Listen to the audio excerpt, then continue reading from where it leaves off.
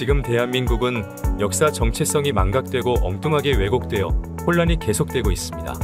이런 혼란 속에서 이승만 대통령이 세운 대한민국을 바로 알기 위해 이승만 학당은 3월 26일부터 매주 토요일에 12번 이승만과 대한민국 14기 강좌를 엽니다.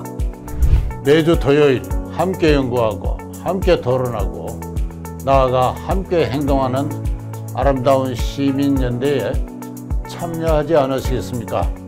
시청자 여러분께서 많이 참여해 주시면 감사하겠습니다.